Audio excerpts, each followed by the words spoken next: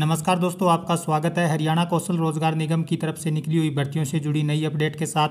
पिछले दिनों जो कुछ भर्तियाँ निकली थी, उसके अंदर 16 तीन 2023 नेक्स्ट डेट दी गई थी। उनमें से कुछ भर्तियों को अप्लाई करने के लिए आपको एक और मौका दे दिया गया है। अब 20 तारीख तक आप अप्लाई कर सकते हैं। सभी भर्तियों के लिए ये मौका नहीं दिया गया है। कुछ जो ऊपर की भर्तियाँ थी, उनमें सोलह तारीख के बाद जो लिंक है वो डिसेबल कर दिया गया था अप्लाई करने का। लेकिन ये चार प्रकार की भर्तियाँ हैं। इनके लिए अगर आपने अभी तक अप्लाई नहीं किया है तो बीस तारीख तक आप अप्लाई कर सकते हैं। Dholak player cleaner lab technician और फिशरीज ऑफिसर इन चार वैकेंसी के लिए अप्लाई करने का आपको एक और मौका मिला है।